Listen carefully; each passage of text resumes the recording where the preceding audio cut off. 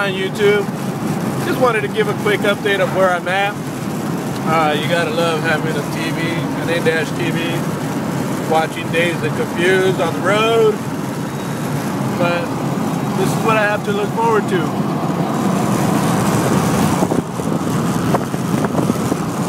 For anybody that's driven out here, this is uh, I detoured on Baker, heading out to Pahrump.